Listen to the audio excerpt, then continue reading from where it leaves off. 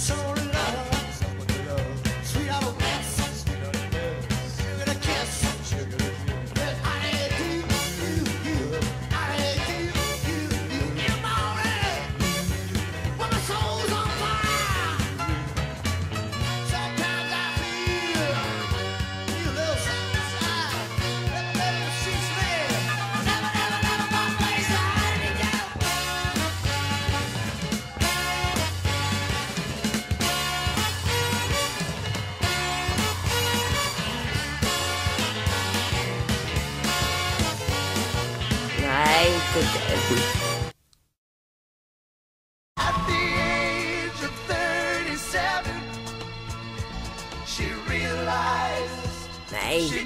nej inte den heller.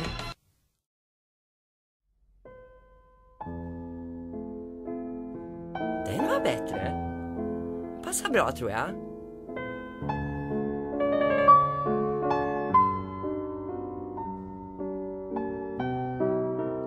Den 5 april. Kära Mr Gorman. Efter att ha läst din självbiografi Gå på tå känner jag mig bara tvungen att skriva. Fin bild som man säger.